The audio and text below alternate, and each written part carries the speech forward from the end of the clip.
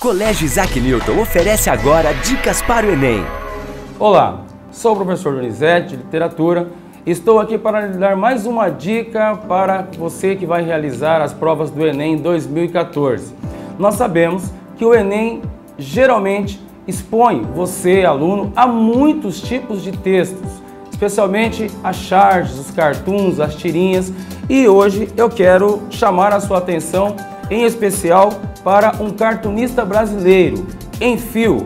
Enfio teve uma produção artística muito interessante no Brasil, voltada sobretudo para um discurso que brigava, que gritava contra a ditadura.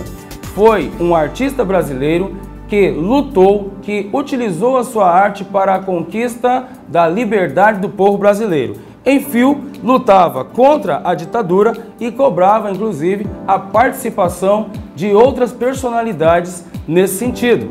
É de Enfio muitas históricas tirinhas e cartoons também, onde ele aborda assuntos ligados à vida nacional brasileira, à vida pública. É dele os cartoons onde nós temos apelos às eleições diretas, nós temos apelo à ideia de anistia, nós temos reflexões políticas muito fortes a respeito do país. Em Fio marca toda uma geração, ali também participando do cinema novo, é um cartunista de grande peso e eu tenho quase certeza que esse ano, de alguma forma, ele aparecerá nas provas do Enem. Portanto, muito cuidado, muita atenção ao perceber essas imagens que você está vendo aí, porque elas estão diretamente ligadas ao Enfio e elas fazem parte da vida nacional do país. Enfio é um artista, é um cartunista, jornalista, militante pela causa da liberdade brasileira